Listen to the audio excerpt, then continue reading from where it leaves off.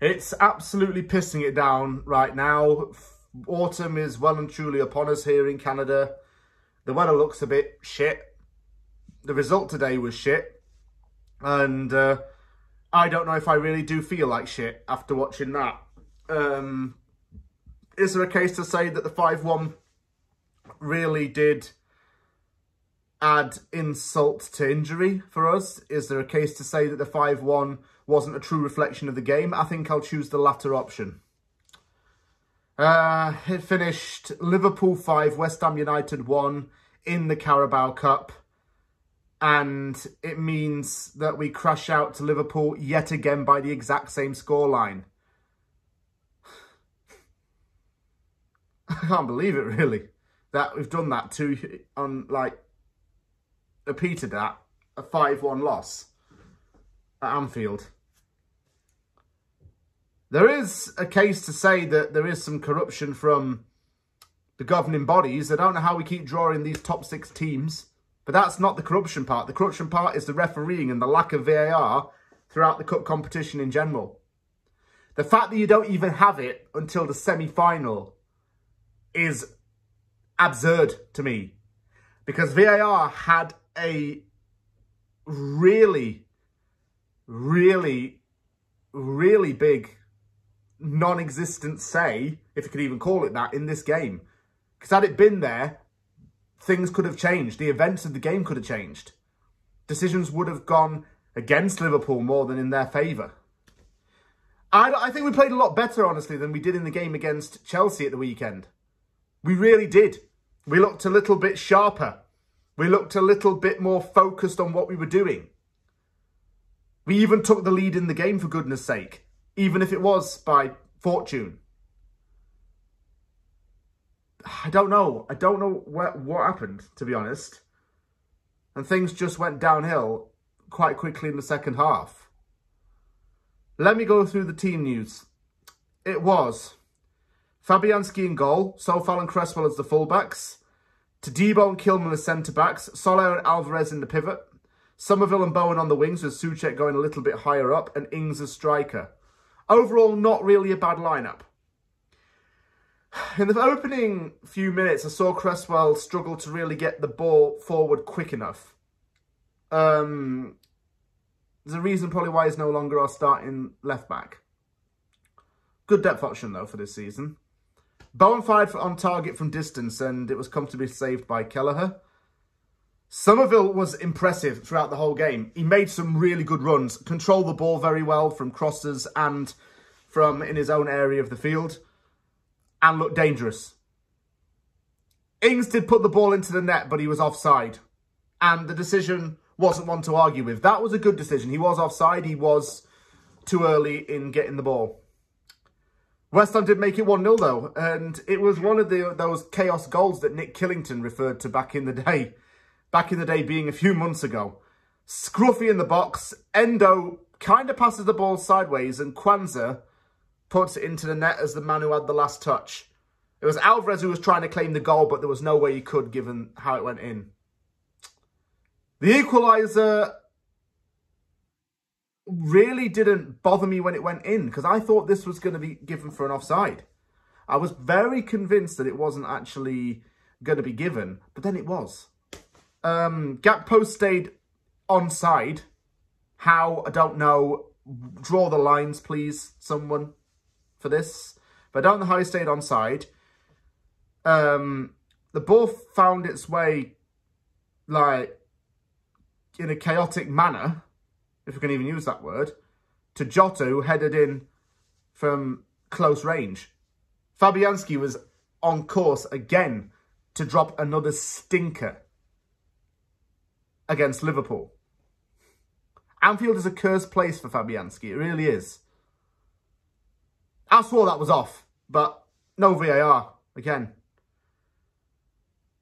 Um, let's talk about some of the players actually in that first half. I thought the defence looked a lot better with Kilman and JCT in it. I really did. Soler works very hard on the field. He wanted to make an impact. He almost had his Pablo Fornals moment when he struck from distance. Uh, Alvarez looks half the player he was last season. I'm sorry, but he was not getting close to any players enough. He was not carrying the ball. He was not acting competently defensively at times. But it was 1-1 at half time, and that was okay. But the second half, you could have bet your life this was going to happen. We were going to concede within the first five minutes of that half. Because it's a trait that we've continued from the Moyes era. We've got to start second halves off without conceding in the opening 10 minutes because that is our Achilles heel right now.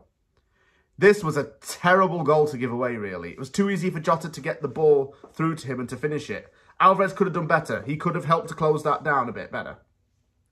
Salah came on for Liverpool, and that, and that point I was just thinking, now, forget it. Forget it. Paquetá on for Soucek and Antonio on for Ings positive about Paquetá is that we've realised he can play better in a deeper central role. Soucek didn't really have a bad game as such, but he didn't do enough to contribute to the point where he could change things. So him coming off was fine.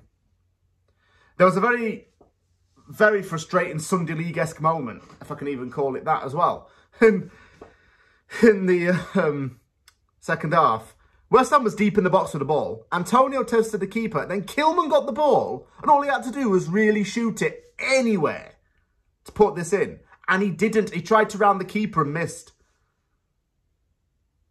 Then a few moments later, I'm swear that Tsimikas handballed for Liverpool. I, he was going like this, chest. I swear it came off his hand. And one of the West Ham players even protested it for a minute. Again, Liverpool had a goal given that shouldn't have been and we were denied a handball. Soler put a shot over the bar as well. We just resorted to striking from distance at this point because we knew we probably couldn't get it into the box. Salah just had to score and make it 3-1. Yeah, I know. Then Alvarez got sent off for a double yellow. He's becoming a yellow card merchant. And we can't have the carelessness right now. What's got into him? I'm not even sure. West Ham then did make some subs. Soler off for Irvine and Kudus came in for Bowen. Irvine is humbling a free transfer from La Liga, a £30 million plus Mexican international, and a Czech midfielder who is loved by the fans, and a loanee from PSG, possibly and Irvine came from Austria, Klagenfurt, and the Hearts of Midlothian Academy. And this guy's already putting in some positive signs. Irvine, actually, I said would score a...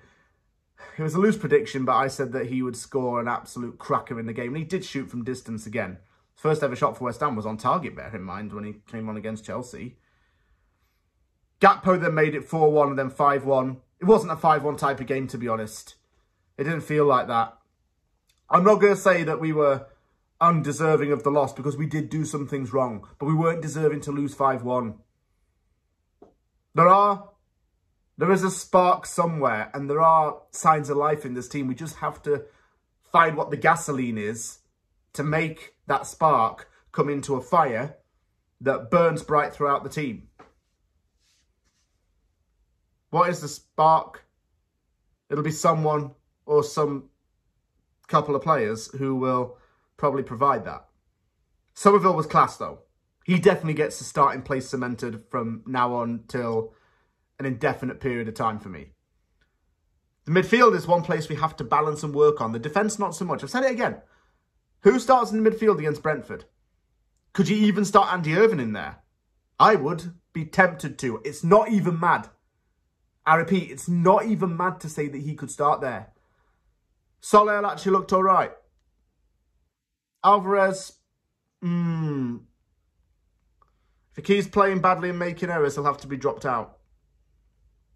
Some decisions have to be made about the midfield, but every other unit looks quite good.